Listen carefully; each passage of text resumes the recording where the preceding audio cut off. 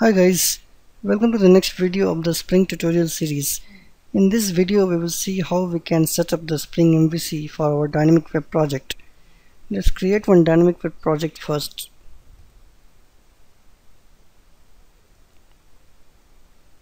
Let's name it as Spring MVC.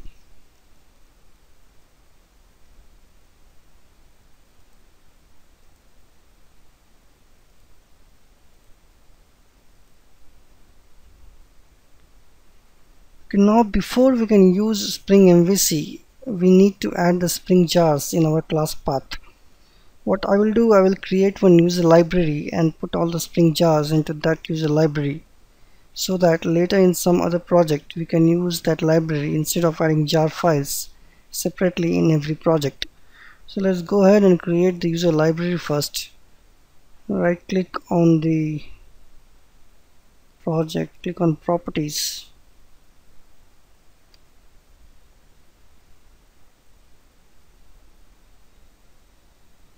go to java build path go to library section here we have something called add library. Click on this. Then select on this user library. Next. Then we need to create a user library. Create a new user library. Give it a name. Spring library okay. Okay now we can add jar files to this user library. Now click on this add external jars. What I have done I have already downloaded the spring distribution in my local in this folder. So we have to just go to the libs folder and here we have all the jars. We can just copy it all. Click ok. Finish. Okay. so now we have our spring library added to our build path. We can see that here in our library section this one. It has all the it has all the jar files which we added. Now we can actually start using spring related classes in our project. In the last video we saw that the dispatcher servlet acts as the front controller to the spring MVC so we first need to declare this servlet in our web.xml let's do that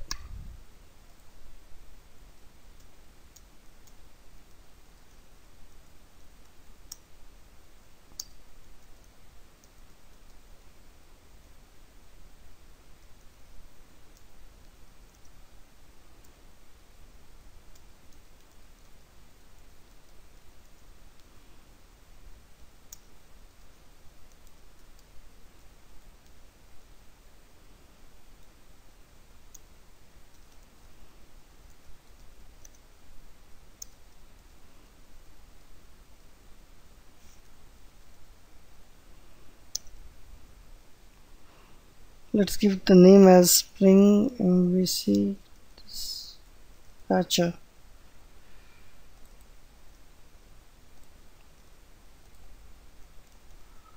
servlet classes org dot spring framework dot web dot servlet dot dispatcher servlet okay now once we have declared this dispatcher servlet all the requests will now go through this dispatcher servlet as we have put slash star here in our URL pattern. So now our HTTP request will be catered by the Spring dispatcher servlet.